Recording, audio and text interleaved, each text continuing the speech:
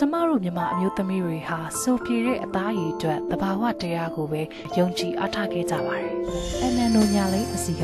အရေးအကြောင်းတွေနဲ့အိတ်တွေကိုဖယ်ရှားပြီးအသားရည်စိုးပြေလှပဖို့ပြုလုပ်ပေးပါလိမ့်မယ်။တမရဟောင်းဦးသိန်းစိန်လက်ထက်ကလီလန်တင်ရောင်းချခဲ့တဲ့ရန်ကုန်မြို့စမ်းချောင်းမြို့နယ်ကဘရုံမာကဆက်ရုံမြေနေရာကို Capital Development Company အမည်ပေါက်ပိုင်ဆိုင်မှုရန်ကုန်မြို့တော်စီမံသားယာရေးကော်မတီမှ grant လျှောက်ထားလိုက်ပြီးဖြစ်ပါတယ်။ ဘရုံမာကဆက်ရုံမြေနေရာရှိအဆောက်အုံနဲ့ဆက်ဆက်ဆိုင်ငန်းတွေကိုလေလံရောင်းချဖို့2011ခုနှစ်မှာနိုင်ငံပိုင်သတင်းစာမှတစ်ဆင့်တင်ဒါခေါ်ယူခဲ့ပြီး Capital Development Company ကကျပ်58ဘီလီယံခန့်နဲ့တင်ဒါအောင်မြင်ခဲ့တာဖြစ်ပါတယ်။တာသနာရေးနဲ့ယဉ်ကျေးမှုဝန်ကြီးဌာနရခိုင်ယဉ်ကျေးမှုဝန်ကြီးဌာနလက်အောက်မှာရှိတဲ့အမှုပညာဦးစီးဌာနနဲ့အဆိုပါကုမ္ပဏီတို့ဟာ2015ခုနှစ်မှာအယောင်းစာချုပ်ချုပ်ဆိုခဲ့တာပါ။ပထမဇက်ယုံမြင်းနေရာကို Capital Development Company အမည်ပေါက် grant လျှောက်ထားမှုနဲ့ပတ်သက်ပြီး ကန့်ကွက်နိုင်ကြောင်းကြော်ညာကို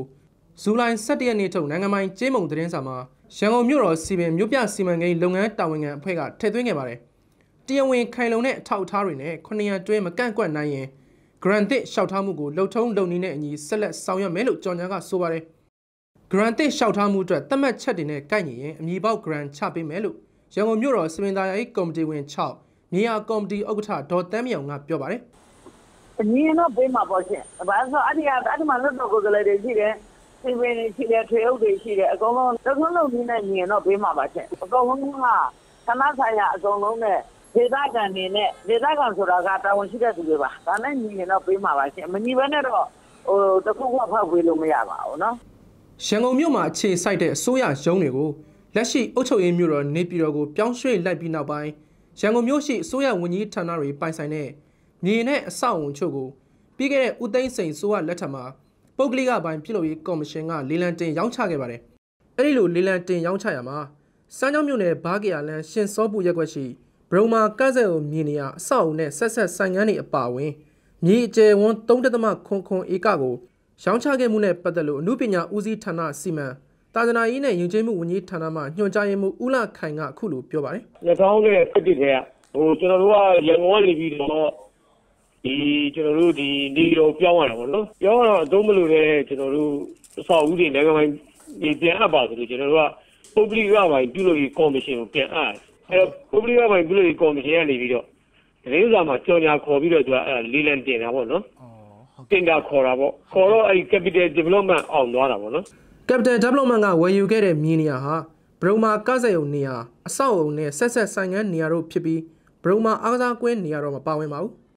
ဘရုံမာကားစရုံကြီးဟာတခိတခါကဇက်ပွဲတွေနဲ့စီကားခဲ့တဲ့အထင်ကြီးနေရာတစ်ခုဖြစ်ပြီး Capital Development ကဝယ်ယူပြီးနောက်ဘာစီမံကိန်းကောင်ထဲဖော်မယ်ဆိုတာကိုမသိရကြောင်းနဲ့ပြည်သူတွေကလည်းတရားဝင်မေးမြန်းမှုမရှိတော့ကြောင်းရန်ကုန်တိုင်းစမ်းချောင်းမြို့နယ်မဲဆန္ဒနယ်အမှတ်1ကတိုင်းဒေသကြီးလွှတ်တော်ကိုယ်စားလှယ်ဦးအောင်မျိုးကပြောပါတယ်။နှစ်များစွာအဲ့ဒါကြီးပြောခွေသွားတယ်ဗျာ။ဟုတ်ကဲ့။သွားခဲ့ပြီးအချိန်မှာသူတို့လည်းလုံးလုံးကြရတော့ဒီ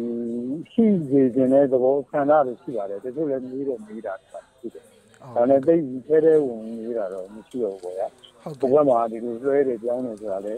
သူတို့ကြားထဲမှာအဲ့အတိုင်းလည်းထွက်သွားပြီလေဘရိုမာဇက်ယုံကွင်းကို Capital Development ကဝယ်ပြီးနောက်ပိုင်းမြေတိစီမံကိန်းဆောင်ရွက်မယ်ဆိုတာကိုကုမ္ပဏီတာဝန်ရှိသူတွေထံဆက်သွယ်မေးမြန်းခဲ့ပေမဲ့ဖြေဆိုဖို့ညှင်းဆန်ပါတယ်ကျွန်တော်တို့ management တင်အကြောင်းသူတို့တိတ်ပြီးတော့ဒီဟာကို public ကိုလောလောဆယ်မပေါ်ပြသေးရှင်မပေါ်ပြခြင်းတည်းရဲ့အတွက်ကြောင့်မို့လို့ပေါ့နော်ဒီ project ကို